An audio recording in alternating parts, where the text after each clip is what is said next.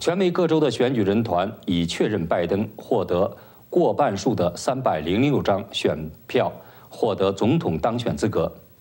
等一月初经由国会清点票数后，无误后，他才真正当选总统。从选举完成到结束，耗时达两个月。即使川普对选举结果无异议，选举人团也忙得团团转。所以，曾参选总统落败的希拉里。公开建议取消选举人团制度，改采全民普选。由于他的建议背离了联邦政府的精神，所以不太可能被废除。不过，适当的修改选举法规倒是必须而且也可行的。请看评论。现行选举人团制是根据全美每十年举行一次的人口普查所统计出的各州人数。所平均分配到的联邦众议员人数，加上各州所拥有的两个参议员席次的总和，再加上华盛顿特区的三个名额，共有五百三十八张选举人团票。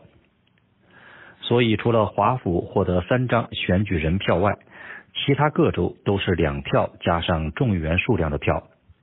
人口越多的大州，选举人团越多。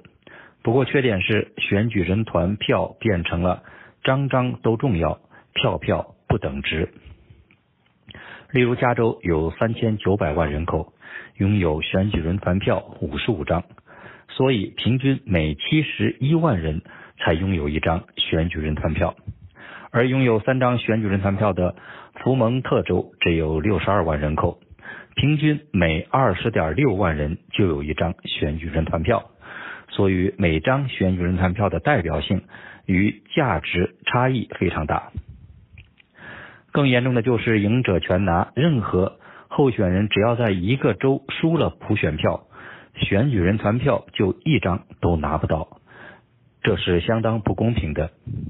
目前只有缅因州和内布拉拉斯州是唯二依照普选票得票比例来分配选举人团票。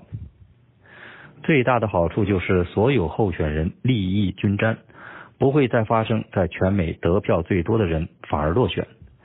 像2016年的希拉蕊与2000年的戈尔就是选举人团制的受害者。选举人团制的的确没有办法让人民直接公平的选举出总统，而且可能成为威胁和摧毁民主选举的不定时炸弹。